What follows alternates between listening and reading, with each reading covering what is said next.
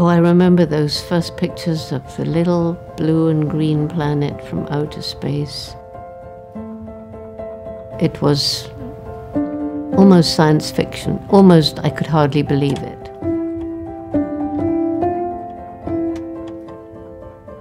Seeing for the first time the extent of deforestation, the extent of how we, the most intellectual species, are destroying our planet.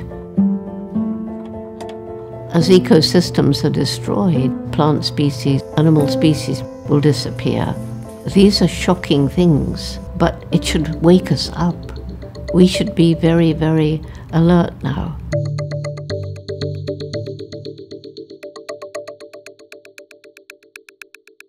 Gombe is the smallest national park in Tanzania.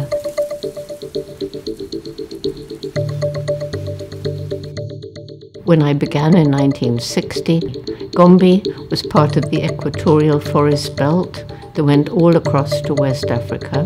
By 1990, it was a tiny island of forest surrounded by completely bare hills.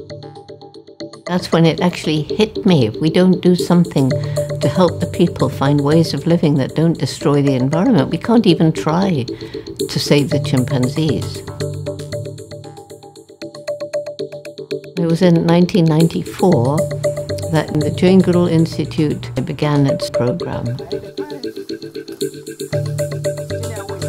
This idea of working with the people was sort of new. I mean, others were handing out bits of money and jobs and stuff, but this was working with the people. The trust that we built up was a very gradual process. Once the villagers had come to trust us, they began to understand that preserving the forest, the environment, was just as important for their own future as for preserving wildlife.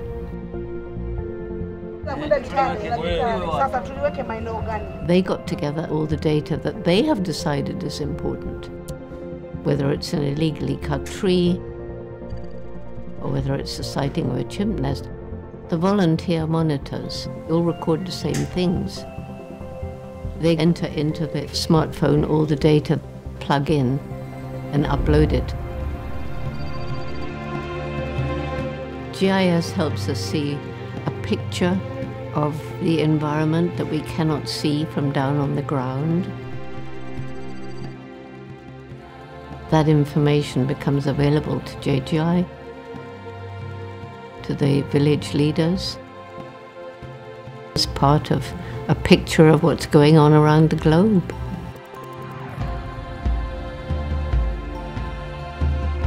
It's been shown in some forests where chimpanzees and other large animals have been hunted out that the forest is not regenerating. So chimpanzees are a very, very important part of the forest ecosystem. The indomitable human spirit, the resilience of nature, the energy and commitment of youth, this incredible intellect. Those are my reasons for hope. If we get together now, it's not too late. We can solve the problems. We can, we must, we will.